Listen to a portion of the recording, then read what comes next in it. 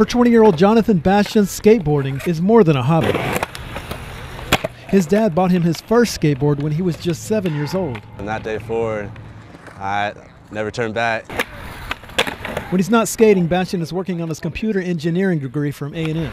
For Bastian, skateboarding has become a way to escape the stresses of life, but it also gives him a chance to win. I love skate. I love skating contests. I love competition. So it's just in, in my blood. Bastian has skated in dozens of competitions, and come Saturday, he'll get that chance to show off his skills again, and maybe win a little cash in the process at the Come and Skate competition at G. Highsmith Skate Park.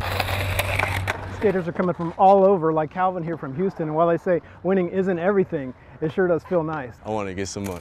we got cash prizes actually, uh, up to like $150 for like some of the winners. So uh, good cash prizes, all kind of giveaways that'll be going on. Gary Logan with the College Station Parks and Recs Department says competitions like this are a great way to reach out to a sometimes ignored skating community. Come out here any night of the week. There's a there's a good uh, good group of guys out here. You know, definitely they they keep it pretty packed. Skateboarders like Bastian are taking notice. It's a sport that he says has taught him some pretty valuable lessons. Since, since I was a little kid, skateboarding's taught me everything hard work, dedication, focus. Bastian says win, lose, or draw, in the end, it's all about the boarding. That was so crazy. In College Station, David Norris. One more time? Yeah, we'll try. News 3.